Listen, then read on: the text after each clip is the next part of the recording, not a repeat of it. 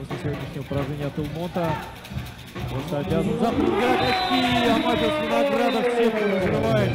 Скиллер Йоренса такой гол забивает. И